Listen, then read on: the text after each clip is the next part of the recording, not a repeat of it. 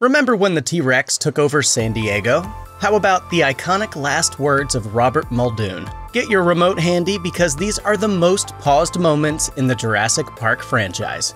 As popular and successful as the theme park in Jurassic World is, before all the dinosaurs get loose at least, it's not exactly what John Hammond originally had in mind. Whereas the first iteration of Jurassic Park was basically a prehistoric zoo, Jurassic World is a full fledged amusement park with all the bells, whistles, and merchandise tie ins one might expect. Much like Main Street USA at Walt Disney World's Magic Kingdom, Jurassic World has its own Main Street with real world franchise locations. There's a Ben & Jerry's ice cream shop, a Dave & Buster's arcade, and enough shopping outlets to qualify as a mall. One notable restaurant you might have spotted is Jimmy Buffett's Margaritaville, the tropical casual dining experience based off of the namesake singer's hit song. What you may not have noticed, however, is a cameo from the Cheeseburger in Paradise singer himself. During the sequence in which the pteranodons are terrorizing everyone in sight, Buffett has his priorities in order, making a valiant effort to protect his margaritas as everyone else runs for dear life. According to Yahoo, Buffett's cameo appearance was a result of his longtime friendship with Jurassic World producer Frank Marshall. Buffett and his Coral Reefer Band even performed some of their signature jams with Marshall and Chris Pratt at the Jurassic World premiere after party. Although these moments aren't in any particular order, it's only appropriate that this one comes in the number two spot. Dr. Alan Grant, Dr. Ian Malcolm, Tim Murphy, Lex Murphy, and Donald Gennaro are returning in the automated Ford Explorers as Dennis Nedry makes his big escape to the docks. It's nighttime, it's raining, and their SUVs just so happen to be passing by the Tyrannosaurus paddock when Nedry's program executes, shutting down power to the vehicles and the high voltage security fences, meant to keep the dinosaurs and guests from mingling. Suddenly, that goat the control room used to goad the T Rex out with earlier stops bleeding. We see that iconic shot of the rippling water glasses, courtesy of the gargantuan steps of the prehistoric tyrant, the T Rex's steps. What's remaining from the goat carcass drops on the vehicle, and a cowardly Donald makes a run for the bathroom, leaving the kids behind. He left us. He left us. The Tyrannosaurus breaks containment, as they tend to do, and goes after the last thing it saw moving. Luckily, Alan gets her attention with a road flare, and Ian follows suit, giving the former a chance to rescue the kids. When the T Rex chases Ian into the bathroom, it completely falls apart, leaving only poor Donald sitting there atop a toilet, seconds away from being snapped up in her jaws. If you look closely, you'll see that the lawyer was still wearing his pants and was only using the bathroom for cover, much to everyone's relief. Except Donald's, that is. There are few things dumber than choosing to travel to the dinosaur infested island of Isla Sorna, and one of them is snatching up an infant Tyrannosaurus Rex and trying to treat it like a wounded puppy. Well, in the Lost World Jurassic Park, animal behavior scientist Dr. Sarah Harding and photographer Nick Van Owen do both. After the team releases several captive dinos to wreak havoc on the InGen base camp, Nick nabs a baby T Rex with a broken leg and convinces Sarah to help him bring it to their mobile lab for treatment. They tend to its wounds despite Ian's protests and predictably find themselves face to face with two very concerned parents. Mommy's very angry. The team tries to appease the angry couple by returning their baby, but it's too little too late. The two combine their efforts to push the RV off a cliff, leaving Ian, Sarah, and Nick hanging. The three eventually make it back alive thanks to Eddie's noble sacrifice and InGen's convenient timing, but not before a nearly 10 minute long sequence full of intense, death defying moments. If you're crazy enough to agree to disable Jurassic Park's security systems in order to steal fertilized dinosaur embryos from their labs, there's a good chance you might not make it back home alive. Such is the case with Dennis Nedry, the bumbling antagonist of the series' first entry. After retrieving that precious dino DNA, Dennis makes his not so great escape in the pouring rain only to lose his way and crash his Jeep into the mud. He tries to use a metal cable to free the car, but ends up taking a tumble down a hill and losing his glasses in the process. Once he gains his bearings, he finds himself face to face with a not so friendly Dilophosaurus. Rather than run, Dennis tries to bargain with the creature, eventually throwing a stick for it to fetch like a dog. And no wonder you're extinct. I'm gonna run you over when I come back down. Unlike a dog, however, the Dilophosaurus opens her neck frill and spits venom in Dennis's face before finally killing him. While the Dilophosaurus wasn't exactly able to spit such sticky venom in real life, the scene makes for one of the highlights of the first film and a satisfying bit of comeuppance for such a loathsome villain.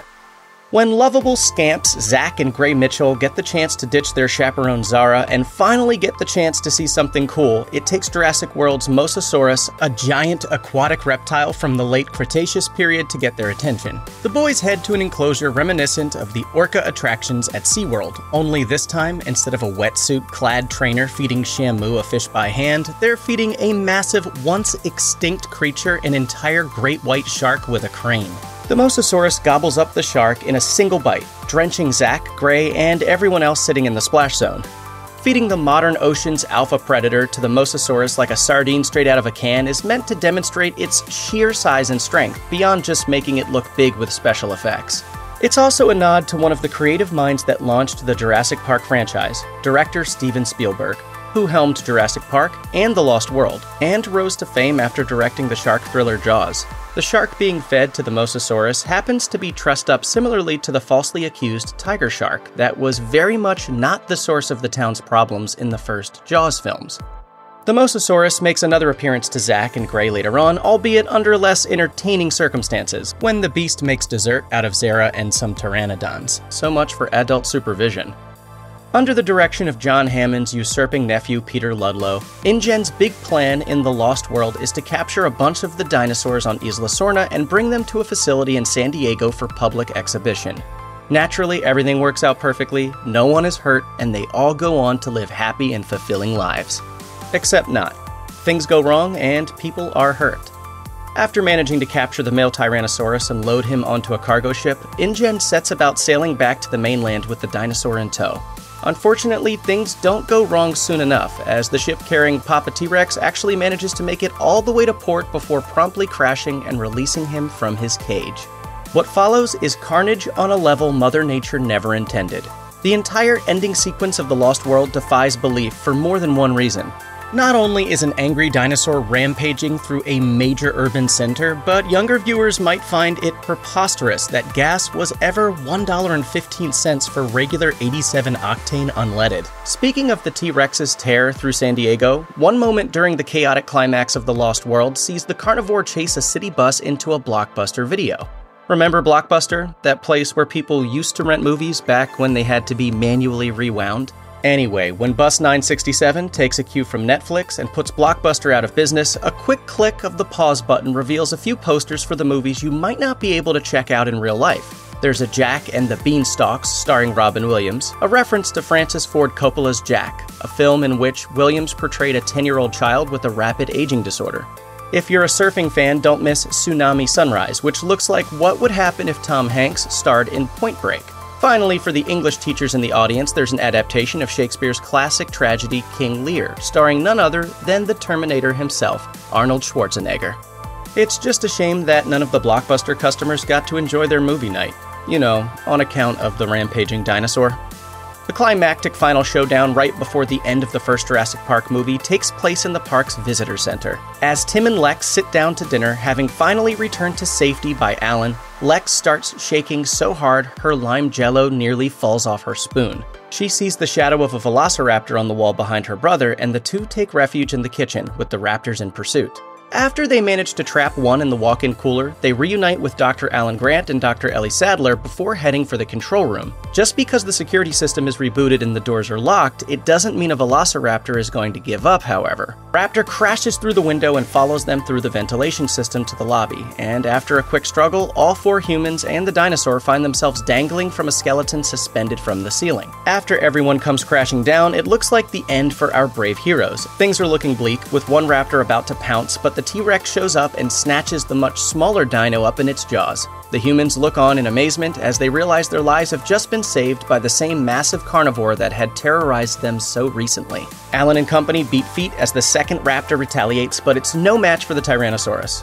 Having established dominance, the T Rex does what comes naturally. It roars a mighty roar, knocking the banner loose and giving us the picture perfect shot. At the onset of Jurassic Park 3, Dr. Alan Grant is in desperate need of funding to continue his research on velociraptors.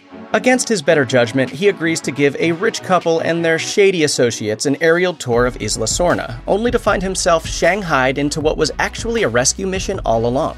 Here we go again.